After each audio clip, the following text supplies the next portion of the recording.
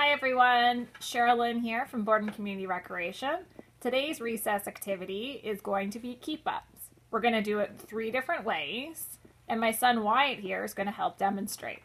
The first way we're going to do it is with a balloon. This is best done if you do it inside. We tried outside and that balloon kept on getting blown away. This one's a little bit easier than the other two versions, but we want you to try and use just your feet. No hands or other body parts to keep this balloon off the ground. Wyatt, take it away.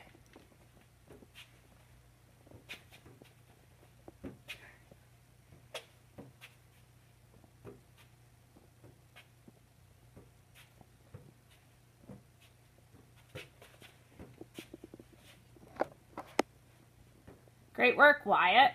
Now challenge yourself to see how many of these balloon keep-ups you can do. We're going to move on now to our next challenge, which is going to take us outside. And now we're back, and we're going to do keep-ups with the soccer ball. Wyatt, take it away. Wyatt's going to start off with using his feet. But you can use any part of your body to keep that ball in the air. If you need to, use your knees, use your head, use your chest.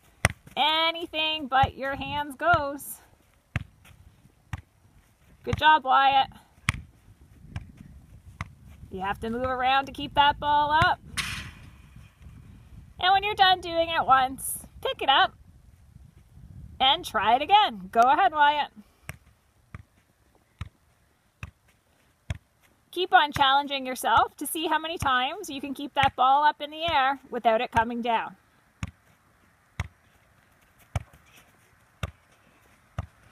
You have to move around a bit. Keep your eye on the ball. Good work. Next, we're going to be moving on to our next keep up challenge. Final challenge we have, and the most difficult one, is with a toilet paper roll. I haven't had Wyatt try this one yet, so I think he's going to even find this to be a challenge because it's not like a normal ball that's going to bounce up and down every time that you tap it. Wyatt, give it a try and see what you can do.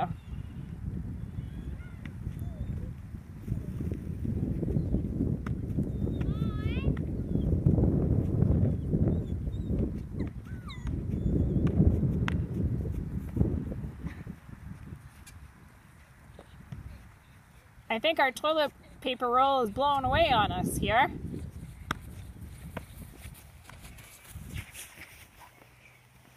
Wyatt's getting more covered in the toilet paper roll and doing keep-ups with it. But it's all in good fun. So I challenge everyone to see how many keep-ups you can do with a balloon, with a soccer ball, and with a toilet paper roll. Thanks Wyatt for showing us how it's done. Keep fit, stay active everyone.